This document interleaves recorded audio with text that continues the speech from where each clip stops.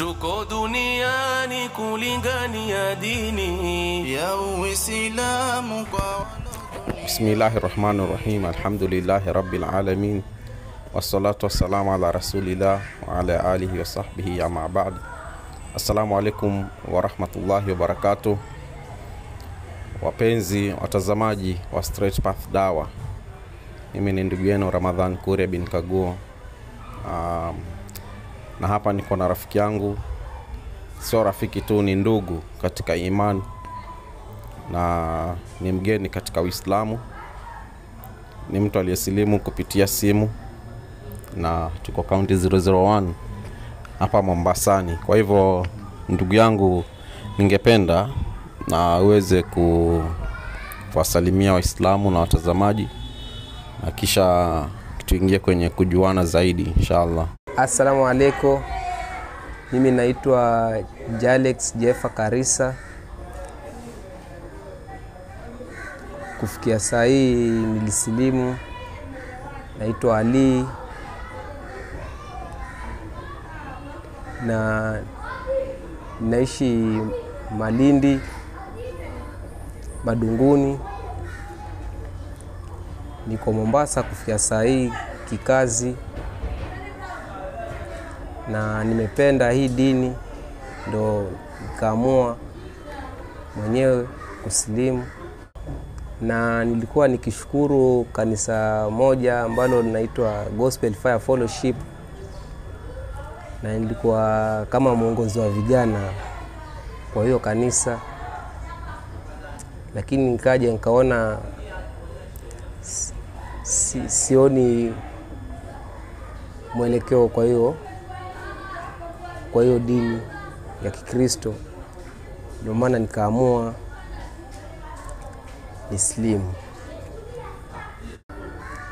Na baada ya kusilimu, niliona changamoto kidogo zilinipitia. Nilikuwa nimetoka kazini, nikapatana na majambazi, wakanipiga, wakanipora simu, wakanikatakata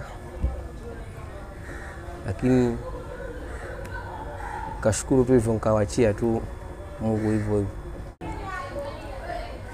Ningependa kusaidiwa nikawezi ku, kuelewa zaidi dini, kwa maana bado ni mchanga, sijajua lolote na nimeipenda kwa roho yangu.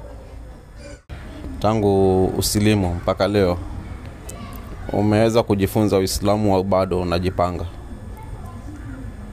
Kusema kwa ule ukweli, kwa sahii sijajua Hujajua? Yeah.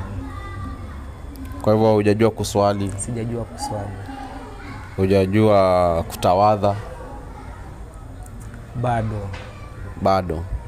Seme ni siku chache tu, lakini unatakiwa ujitahidi sana. Unaishi wapi? Naishi Likoni. Naishi Likoni.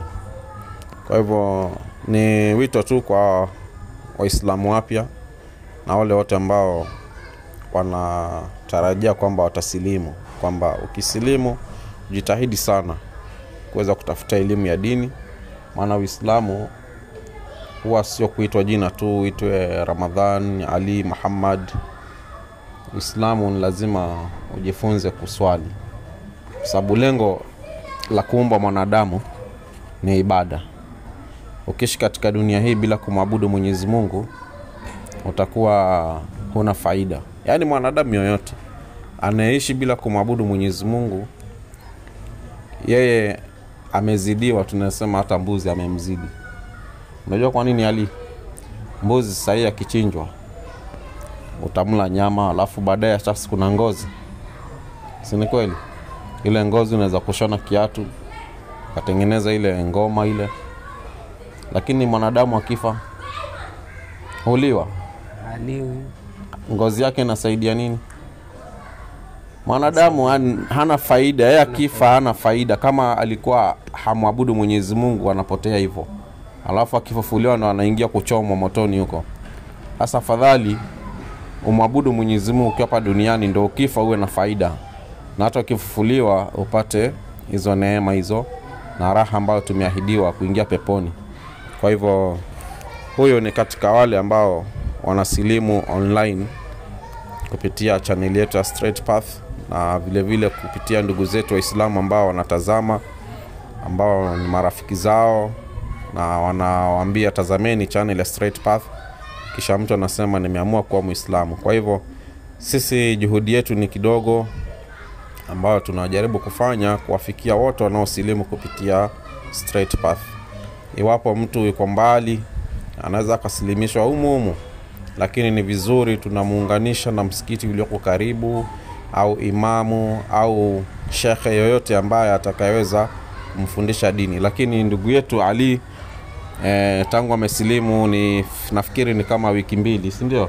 mm. Kama wiki mbili, na alisilimu kwenye simu na tulimweleza maana ya Uislamu na akaelewa. Kwa hivyo leo ilikuwa nime, nikutane naye na nimekutana naye alhamdulillah kwa mara ya kwanza. Najua ulikuwa ujui ulizungumza na nani siku ile, si ni kweli?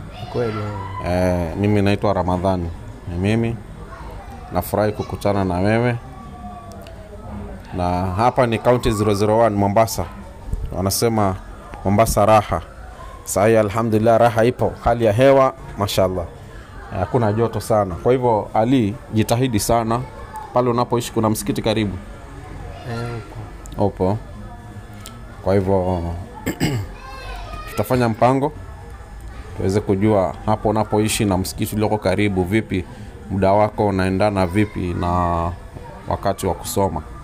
Kama sio kule unakoishi hapa mjini, tujue e, vipi utaweza kusoma, ama ni msikiti upi uko na madarasa ya watu wa kusilimu, uweze kujifunza Uislamu, angalau ujue usafi katika Uislamu, ujue kuswali, yaani kumwabudu Mwenyezi Mungu, sinivyo ntashukuru Nitashukuru. Kwa hivyo nyumbani haswa ni wapi? Nyumbani kwa kuzaliwa ni Malindi, Madunguni. Madunguni. Eh, sijawai kusikia Madunguni. Malindi, uh -huh. Malindi, Madunguni. mm-hmm.